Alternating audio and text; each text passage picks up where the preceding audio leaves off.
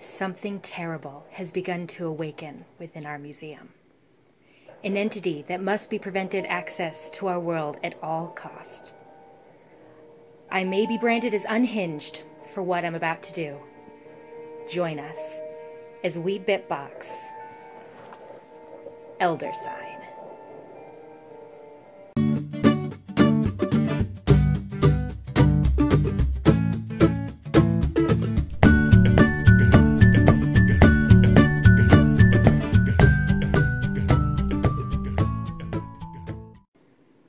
Let's discover the meaning behind this mysterious sign as we bitbox Elder Sign and Elder Sign Unseen Forces expansion into a small bitbox. It really doesn't want us to figure this out.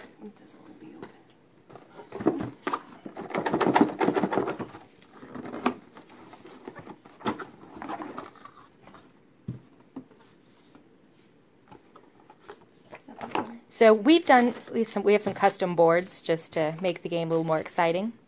But the main components of this game are just a few decks of cards um, and some tokens, and you see that clock. But like the clock, as you can see, uh, will not fit. It's a little bit too tall. So that'll go in the board sleeve. And then we just have a bunch of cards. We've got some little mini cards.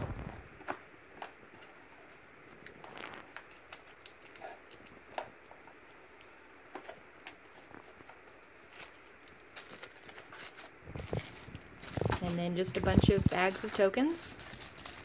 And so this is Elder Sign, the base game, and after we bag this, we'll see if we're able to fit Unseen Forces into this small box as well.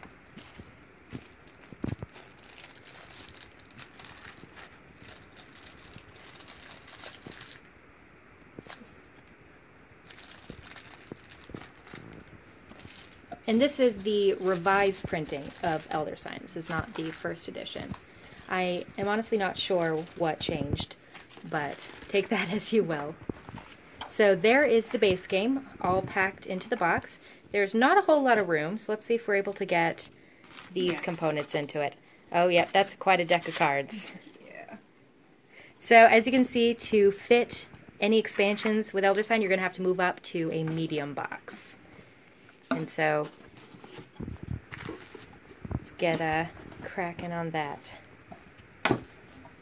On the plus side, you might be able to fit the second Elder Sign expansion once you've upgraded to the giant box.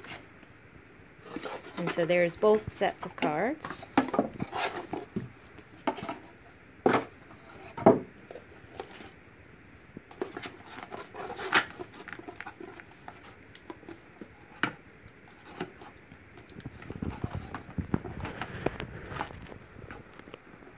What's nice about this game is there's not a whole lot of strategy per se.